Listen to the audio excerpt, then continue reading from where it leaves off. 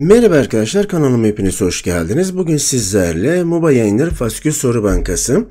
7. faskül evet gençler 3 boyutlu cisimlerin farklı yönlerden 2 boyutlu görünümlerini çizer konusuyla dersimize devam ediyoruz. Gençler konumuza başlamadan önce Kurt Akademi YouTube kanalıma abone olur ve videoları beğenirseniz çok sevinirim. Evet gençler önceki konumuzla ilgili bilgilerimizi inceleyelim. Verilen bir cismin herhangi bir yönden görüntüsü çizilirken bakış açısına göre dik yüzeyler çizilir gençler. Bunu iki boyutlu hale getirmeye çalışıyoruz. Yukarıdaki eş küplerle oluşturmuş yapının önden, arkadan, sağdan, soldan ve üstten görünümlerini inceleyelim demiş. Gençler önden görünüme baktığımız zaman e, yatayda gençler bakın 1, 2, 3, 4 var. İlk sırada 4 tane karemiz var. 1, 2, 3, 4. Daha sonra solda gençler bunun üzerinde 2 tane daha karemiz var. Evet en sağda da 1, 2, 3 tane de gençler yukarı doğru yine toplamda 4 tane olacak şekilde karemiz oluşacak diyoruz. Gençler arkadan görünümle önden görünüm gençler dikkat edersek birbirinin simetrisi arkadaşlar. E, sağdan ve soldan görünümü incelediğim zaman sağdan ve soldan da gençler bunlar da yine birbirinin aynısı yani simetrisidir diyelim. E, üstten görünümde de gördüğünüz gibi 1, 2, 3, 4 tane karesel bölgelerden oluşur diyoruz. Evet, geçelim gençler ilk etkinimize.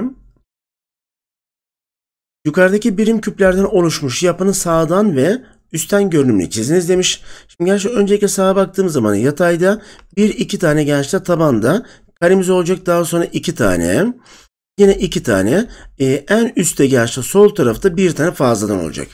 O halde şöyle karesel bölgeleri alacak olursam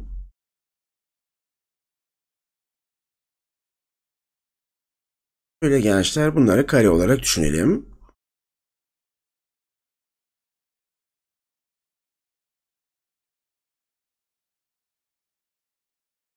Sol tarafta yine bir tane karesel bölgeden oluşacak.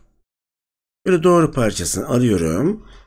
Evet gördüğünüz gibi evet, her sırada başlangıçta ikişer tane olacak şekilde karesel bölgeler var ve sol tarafta da yine bir tane karesel bölgemiz var. Üstten görünümde gençler bakın şöyle düşünebiliriz. Evet, üstten gördüğümüz zaman şöyle 2, 2, 2, evet, 3 tane ikişer kareden oluşuyor. Şöyle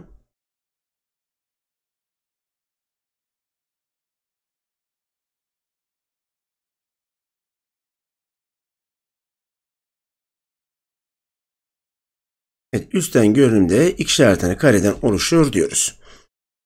Evet, geçelim gençler bir sonraki sorumuza bakalım. Evet, yukarıdaki izometrik kağıda çizilmiş yapı ile ilgili aşağıdakilerin hangisi yanlıştır demiş. Gençler yapının önden görünümüne baktığımız zaman yatayda 1, 2, 3 tane olacak. Daha sonra sağ tarafta da bunun üzerine 2 tane gelecek. 1, 2, 3 tane ve sağ tarafta 2 tane var. O halde bu bilgimiz doğrudur. Evet, yapının sağdan görünümde gençler en sağ tarafta 3 tane karemiz olacak. Daha sonra sol tarafta da yatayda 2 tane de yanında olacak. 1, 2, 3 tane var. Yatayda da yanında var. B seçeneği doğrudur. Gençler soldan görünüm sağdakinin simetrisidir. Bakın bunun simetrisi gençler. Evet burada yer alıyor. Bu ifade doğrudur. Üstten görünümde gençler. Üstten görünümde şöyle görelim. Bakın 1, 2, 3. Yine 3 tane. Ve yine burada 3 tane oluşması gerekiyor. Gençler dikkat edersek bunlar fazladan olmuş. O halde ne diyoruz? Denizli seçeneği yanlıştır ve sorumuzun yanıtı D seçeneğidir diyelim. Evet, bir sonraki soruya geçelim. Aşağıdakilerden hangisi yukarıdaki verilen eş küplerle oluşturmuş yapının herhangi bir yönden görünümü değildir diye soruyor. Gerçekten herhangi bir yönden dediği için bunu önden, arkadan, sağdan, soldan şeklinde değerlendirmem gerekiyor. Gerçi mesela A seçeneğine bakacak olursak A seçeneğinde evet, nereden görebilirim gençler? Öncelikle evet, yatayda ne olması lazım? 4 tane kare olacak. Daha sonra 3, 3 ve 2 tane şeklinde devam edecek. Bakın gençler biz buna buradan bakarsak 1, 2, 3, 4 tane olur. İkinci sıraya bakıyorum 1, 2, 3 tane olur. Evet üçüncü sırada da şöyle 1 ve 2 tane olur. Evet gençler bakın bu. Evet buraya eğer ön diyecek olursak önden görünüm A seçeneğinde yer alıyor. B seçeneğini incelediğimiz zaman e, sağda gençte 3 tane bakın bir şöyle farklı bir kalemle gösterelim. 1, 2, 3 tane. Daha sonra ikinci sırada yine 3 tane. Evet, 2 tane ve 1 tane. Bu da burasına sağ dersem sağdan görünüm olsun. Evet. Şimdi gençler C'ye baktığımız zaman bu da üstten görünüme benziyor gençler. Bakın 1, 2, 3, 4. 1, 2, 3, 4. Evet, yine 1, 2, 3, 4. 1, 2, 3, 4. Bakın bu da üstten görünüm. Evet, C'yi de elde ettik. Evet üstü de gördüm. Ama D seçeneği herhangi bir şekilde evet, herhangi bir yönden görünüm olamaz diyelim. Ve Denizli seçeneğini doğru yanıt olarak işaretleyelim. Evet, dördüncü soruyla devam edelim. Yukarıda verilen yapı kaç adet eş birim küpten oluşmuştur diyor. Gençler bu tarz sorularda birim küpün üzerine sayıları yazarak evet kaç kat varsa gençler onları yazarak daha sonra toplayabiliriz. Şimdi soldan başlasak. Burada bir tane var. 1, 2, 3. Bakın şurada bir tane var. Bir tane var. 1, 2, 3, 4. 4 tane var. Bunlarda 3 tane. Burada 2 tane. Burada bir tane.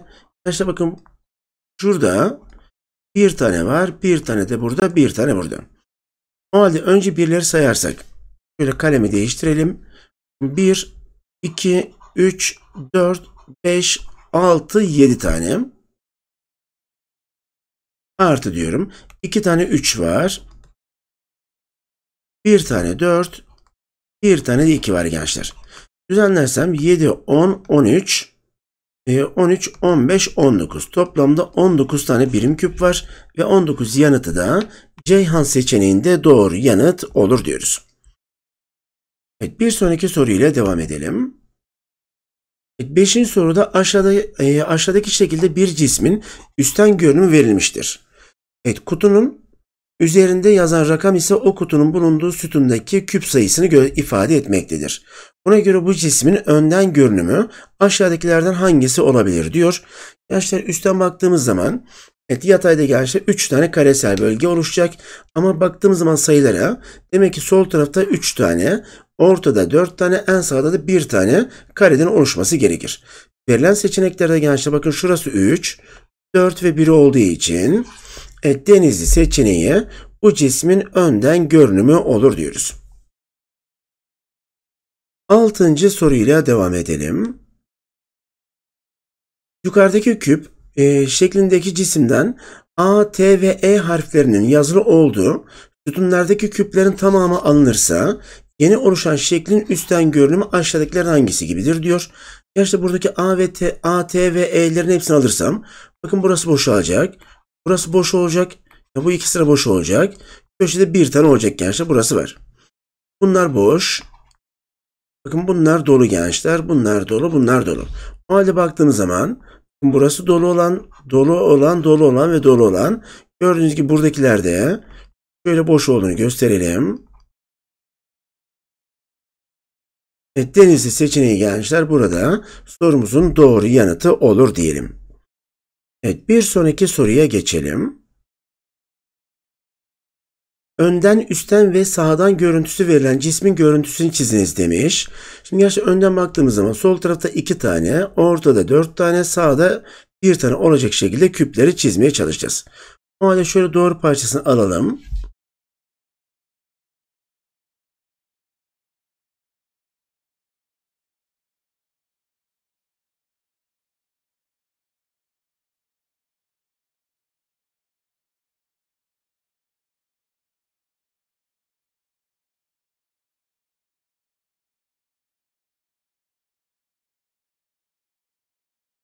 Evet, yatayda 3 tane çizdik.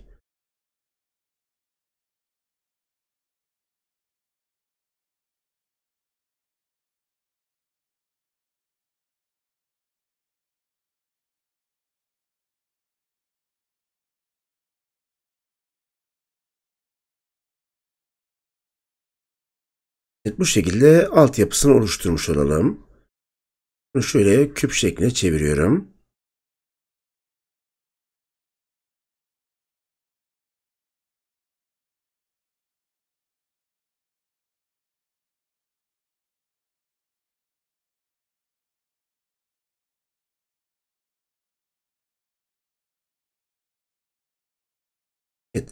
Soldan ikinci sırada veya ortada gençler 3 4 katlı bir evet karelerden oluşuyor, küplerden oluşuyor diyoruz.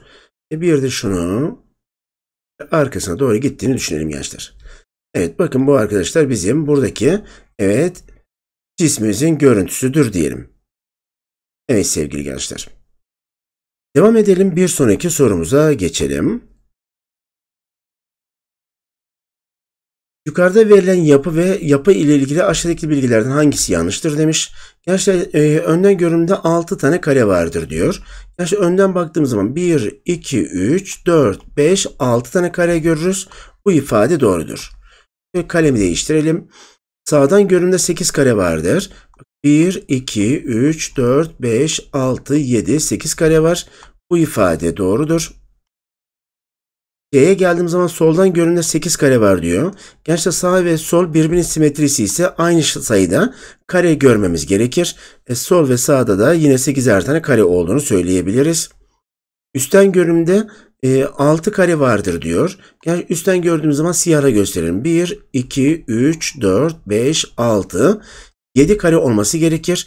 6 dediği için bu ifade yanlıştır ve sorumuzun doğru yanıtı Denizli seçeneği olur diyoruz. Devam edelim. Dokuzuncu sorumuzda birim küpler yardımıyla yukarıdaki büyük küp oluşturulmuştur.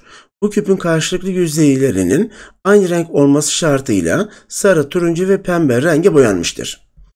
Buna göre aşağıda verilen bilgilerden hangisi doğrudur diyor. Sevgili gençler. Evet burada gençler sorumuzun yanıtı sadece bir yüzey boyalı olan birim küp sayısı iki yüzeyi boyalı olan birim küp sayısına eşittir arkadaşlar. Yani C şıkkı doğrudur. Gençler bakın bunu ön yüzeyi bakarak konuşabiliriz.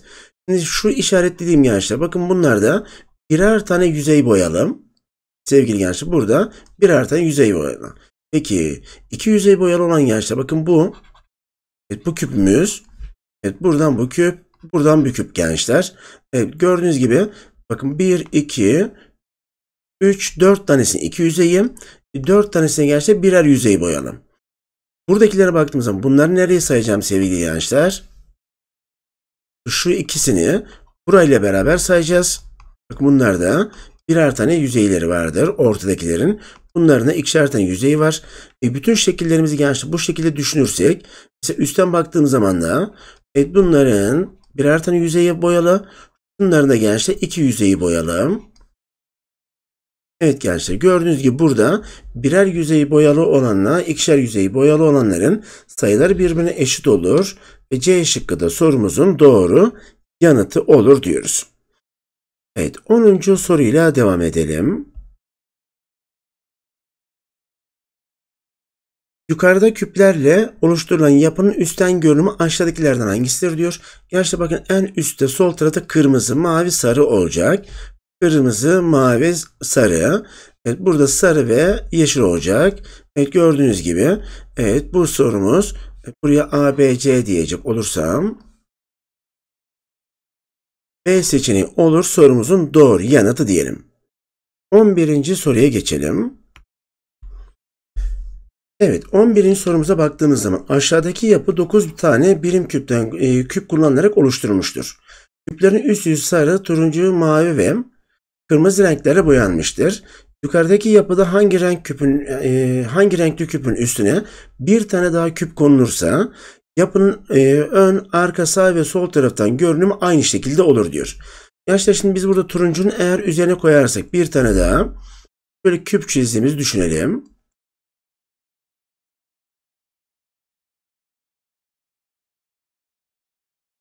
Burada bir küp olduğunu düşünelim gençler. Önden baktığımız zaman gençler sol tarafta 3 tane, sağ tarafta 3 tane. Şöyle göstereyim. Bakın bu önden görünüm olur gençler. Evet. Sağdan baktığımız zaman gençler yine sol tarafta 3 tane, sağ tarafta 3 tane aynı şekilde elde edilir. Ee, üstten baktığımız zaman e, ark, pardon e, ön dedik, sağ dedik. E, arkadan bakarsak önle aynı olur gençler. Yine 3'er tane. Soldan baktığımızda sağdan baktığımız aynı olur. Yine aynı görüntüyü elde ederiz. O halde turuncunun üzerine koyulması gerekir diyelim. Ve turuncu yanıtını da denizli seçeneğinde işaretleyelim. Evet gençler bu sorumuzla dersim burada bitiriyorum. Bir sonraki dersimizde görüşmek üzere. Kendinize iyi bakın, sağlıcakla kalın.